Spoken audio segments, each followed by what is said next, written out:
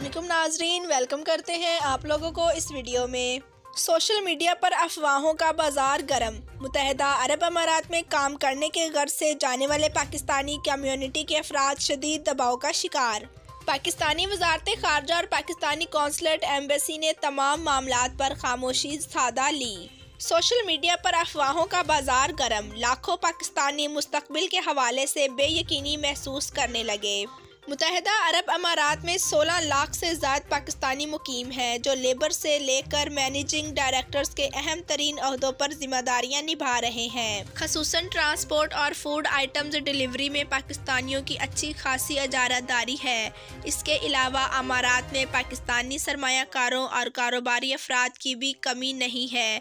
जो छोटे कारोबारी तबका से लेकर अरबों दिरहम के कारोबारों तक मुश्तमिल है। ये पाकिस्तानी सालाना अरबों डॉलर्स का जेर मुबादला पाकिस्तान भेज कर मुल्क की डायनवा डॉल मैशियत को बहुत बड़ा सहारा दे रहे हैं। इस लिहाज ये पाकिस्तान के लिए एक महसन और मददगार की भी हैसियत रखते हैं। ताहम गुजशत कुछ रोज से अमारात में मुकीम लाखों पाकिस्तानी बहुत ज़्यादा बेचैनी और बेयकीनी का शिकार हो गए हैं। कई ऐसे पाकिस्तानी भी हैं जो गुजशत तीस पैंतीस सालों से अमारात में मुकीम हैं। पाकिस्तानी कम्युनिटी की हद दर्जा परेशानी की वजह सोशल मीडिया पर फैलने वाली खबरें और पोस्टें हैं। इसके अलावा कुछ पाकिस्तानी एंकर्स के गैर जिम्मेदाराना बयान हैं जो ये दावा कर रहे हैं कि पाकिस्तान का झुकाव तुर्की और ईरान की जानब होने से सऊदिया और यूएई पाकिस्तानी हुकूमत से सख्त नाराज़ हैं। इस तरह की गुमराह कन बातों की वजह से अमारात में सोशल मीडिया पर ऐसी अफवाहों और गलत खबरों का बाज़ार गर्म हो गया है, जिसके मुताबिक अमाराती हुकूमत की जानब से पाकिस्तानियों की बड़ी तादाद को निकालने की तैयारी हो रही है। हालाँकि अमाराती हुकूमत की जानब से ऐसा कोई इरादा ज़ाहिर नहीं किया गया, ना ही ऐसा कोई पॉलिसी बयान जारी हुआ है या ऐलान किया गया है। अमली तौर पर भी अमाराती हुकूमत की तरफ़ से ऐसा कोई इकदाम नहीं किया गया। अमाराती हुकूमत ने सिर्फ़ विज़िट वीज़ा पर पाबंदी आयद की है, जिसकी वजह कोरोना वायरस को करार दिया गया है। लेकिन इस गैर यकीनी सूरत हाल में परेशान कन पाकिस्तानियों के परेशानी में मजीद इजाफा कर दिया है। कुछ लोगों ने ये दावे भी किए हैं कि इनके जानने वाले जब वीज़े की मुद्दत में तोसी करवाने के लिए मुतल इदारे के पास गए तो वीज़े में तोसी करने की बजाय इनका पासपोर्ट जब्त करके इन्हें डिपोर्ट कर दिया गया।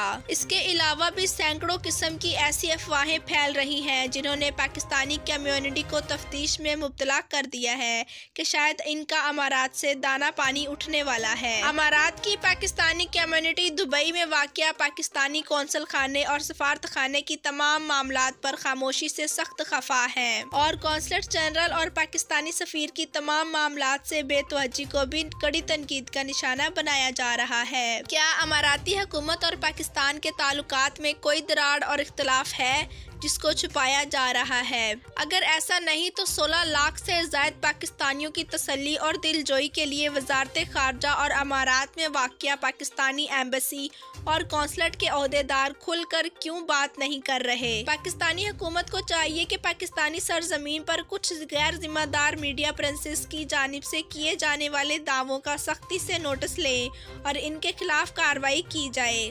मौजूदा हुकूमत को लाखों पाकिस्तानियों के बेयारो मददगार छोड़ना बहुत बड़ा जुल्म और ज़्यादती होगी।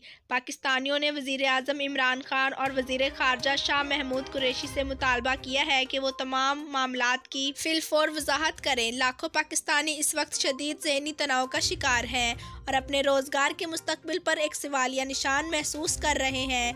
इसके अलावा पाकिस्तानी कौंसल खाने को भी पाबंद किया जाए कि वो पाकिस्तानी की तसली और तशफी के लिए कोई मुस्बत पैगाम जारी करें। जी तो नाजरीन, वीडियो देखने का शुक्रिया। हमारे चैनल पे न्यू हैं तो चैनल को सब्सक्राइब करें, लाइक करें और बेल आइकन को प्रेस करें। Thanks for watching. अल्लाह हाफिज़।